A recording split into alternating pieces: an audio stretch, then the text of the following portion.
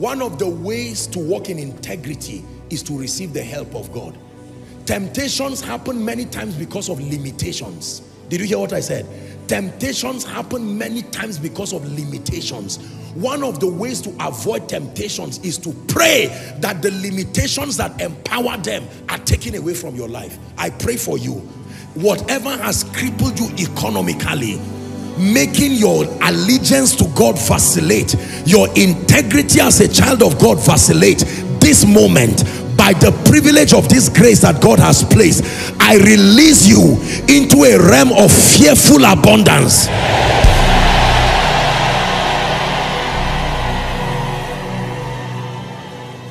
Hallelujah. Hear me. You can have what to say, but it does not mean men will listen. Some of the smartest people in the world are the loneliest people. I have seen people even in ministry, men and women of God, gifted with character, with solid integrity, and yet nobody knows they are there. And sometimes I say, please, can I pray with you?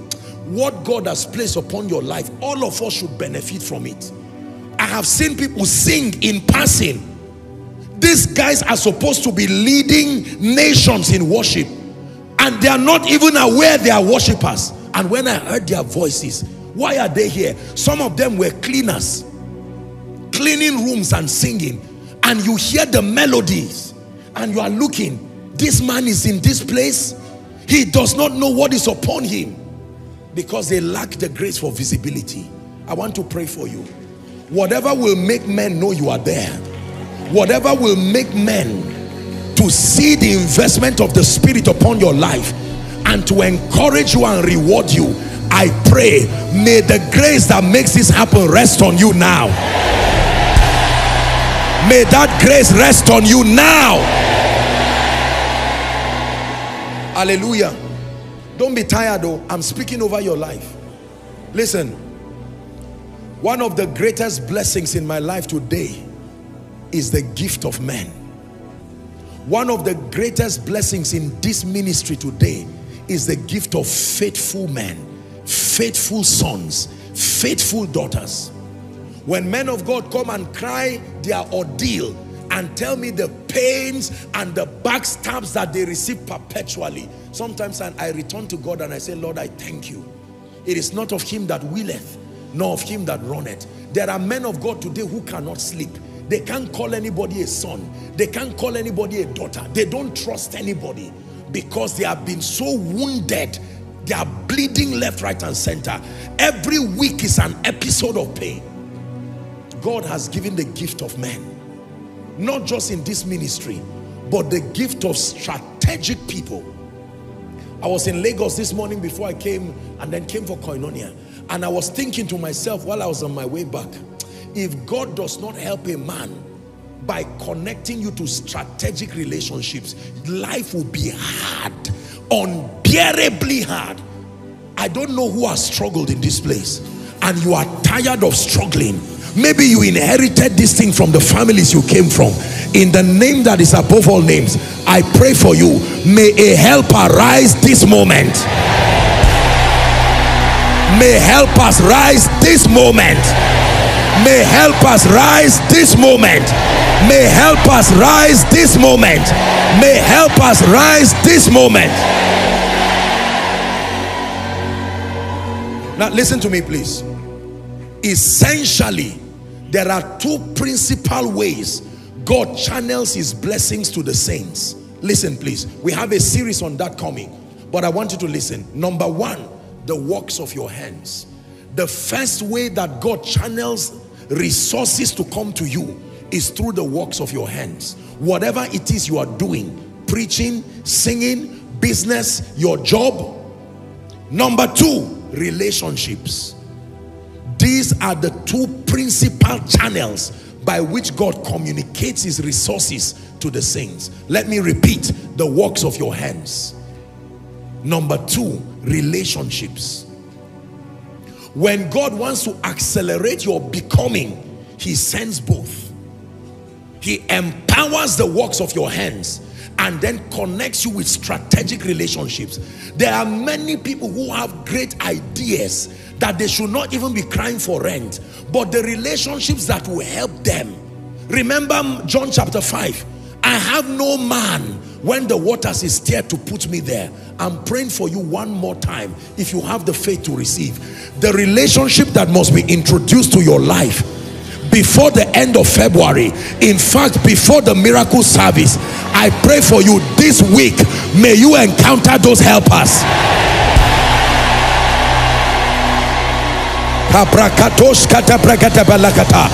This week may you encounter those helpers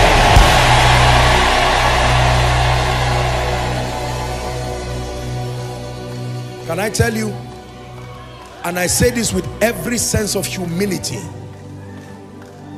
there is nothing I have cried about in my life that God did not raise a man to hear me.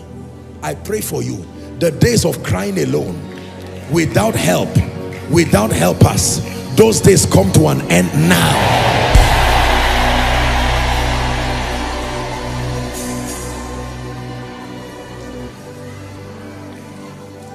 now listen in my life as a man of God, I have seen attacks.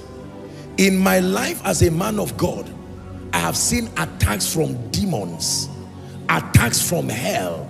I have seen demons. I know the extent of Satan's hatred for me on account of the souls that are saved. I have found my safety and my immunity in the word there is nothing Satan can do about what God is doing. I want to pray for you because many of you, when you go through attacks, it brings you down. The mysteries of hiding behind the cross, hiding behind the name that immunes you. Some of you, your companies have refused to rise today because of someone, something, something someone said, something someone did. When the words of men keep you down, you don't know how to be immune. God stands by men like a mighty terrible one. When God places his hand behind you woe betides the resistance that is before you. Therefore I pray for you. In the name of Jesus every attack on your life attack on your ministry attack on your health attack on your job this night this moment I release you to safety I release you to safety. I release you to safety. I release you to safety. Every power that has vowed that you will not see the end of February, that you will not enter March, either killing people in your life, deteriorating your health, I call upon the God of my covenant. Anybody who will not give you rest, may my God clear them out of the way.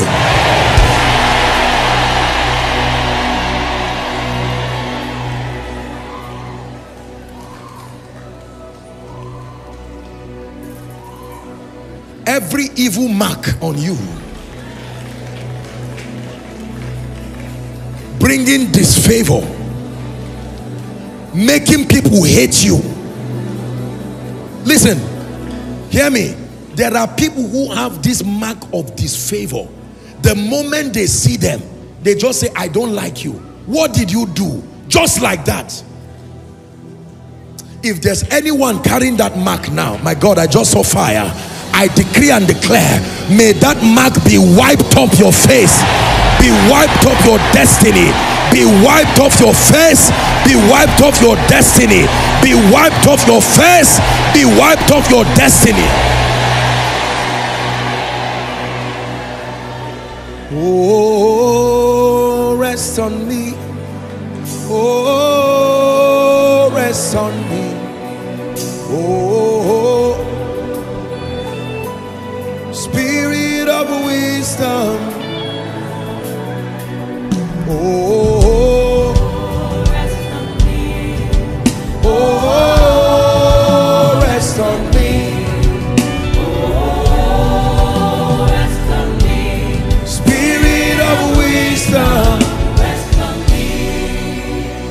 Listen, you are about to receive a grace now that I've not prayed for for a long time.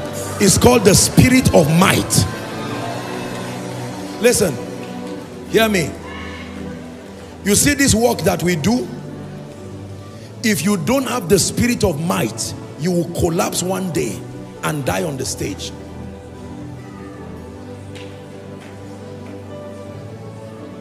Believe me when I tell you, and I'm not exaggerating, from yesterday into today till now, I have not slept. Now, it's good to rest, but sometimes the duty calls. We had a broadcast to our Canada family, and when we were done, by the time I came, I was on a call that lasted over, I don't know how many hours. And by the time that was done, it was morning, had to leave for Lagos, went to preach, did everything, returned back. Now I'm here. And it's not like I'm going home just to go and jump on the bed. There is something called the spirit of might. There are many of us 25, 35, you are already as if you are 90 years. If men like our father in the Lord can still be going around nation to nation, you see that now. Our father in the Lord, Daddy Onugbogu, 85 years, this man is still moving around. When I travel to the east and he's around, at his age, he comes to join those to receive me. I've rebuked the ministers many times and said, don't allow this man. This man is my grandfather. Don't allow where I come from. You don't keep an elder for a small boy like this to come and receive him. But he perceives it as honor. And this man will stand. He's not holding a stick. He's not bent over. Come on now. There is a grace that comes on men. I'm praying for you. The spirit of might that empowers you for the work. Receive it now. Receive it now. You will not collapse in service. You will not die while serving.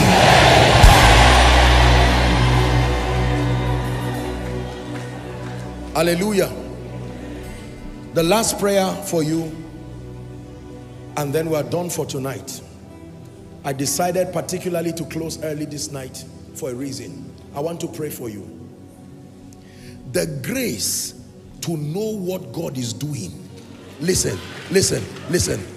One of the greatest advantage in my life is the blessing of the seeing eye. When you are taken unawares by life, you don't know what God is doing. You don't know what tomorrow will be like. Many of us just stumble blindly into things. You will see opportunities and leave it without knowing it is there. I want to pray for you. Whatever has covered your eyes, that you are not seeing what God is doing in your life. You are not seeing what God is doing in Nigeria. You are not seeing what God is doing in your ministry. I pray for you now. May your eyes be open. Spiritually, may your eyes be open. Financially, may your eyes be open to opportunities. Listen, when you have the miracle of open eyes, make reference to my teaching, the seeing eyes.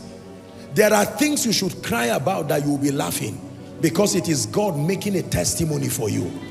If you do not understand how God works, you will be binding and casting something good that is coming to you because you just do not know it is God working. I'm praying for you again.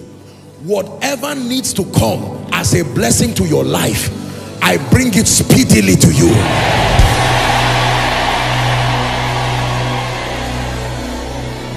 Koinonia, hear me. And I'm speaking to our global family. I cried to God this year and I said, Father, preserve my people for me. We are not ready for obituaries this year. Let me pray for you again. I'm praying for you. If there is any covenant that connects you to the grave, using sicknesses, using accidents, using plane crashes, using kidnaps, I decree and declare, be released now.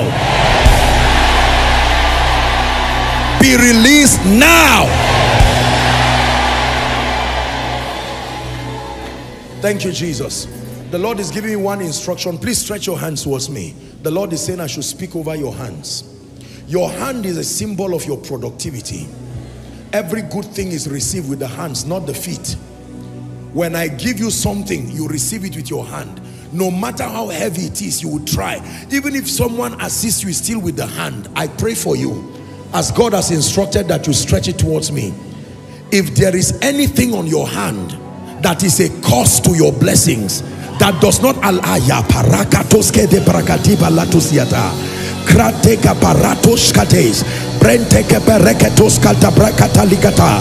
Shabraka barite beretos kotos ebreta tabakata barakatos kata brakata in the name of Jesus every chain holding your hand so that you cannot receive the reward God has for you I break that chain now I break kotebalata. I break that chain now. Every blessing my God has released, may it enter your hand. May it enter your hand. May it enter your hand. May it enter your hand and that of your children and that of your spouse and that of your family members in the name of Jesus. Thank you for staying to the end of this message. But before you leave, I want to tell you a story. There was a father who has two sons, and so he sent two of his sons to the farm, like to go and harvest yam. So he called them both and sent them. The elderly one says, he is going to go that he is going to like go on the errands but the younger one says he's not going to go. And so they left the presence of the man.